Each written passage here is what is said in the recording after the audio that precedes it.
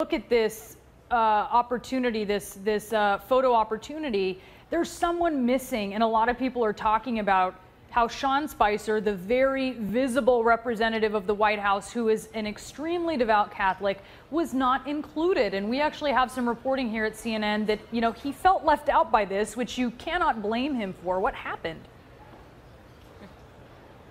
I think what you're seeing is uh, the disenchantment that uh, President Trump has expressed to his aides privately with uh, Sean Spicer.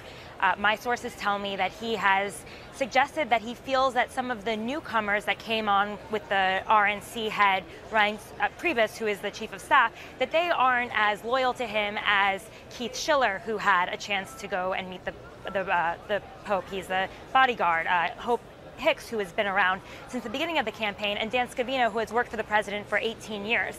Um, you know, a lot of our White House officials are telling us that you may not actually see Sean Spicer again at the podium after this trip. So it would make sense that the president would start limiting his public appearances. Um, and these people were very close to Trump. They're literally family. He, he, had, he really values loyalty and blood.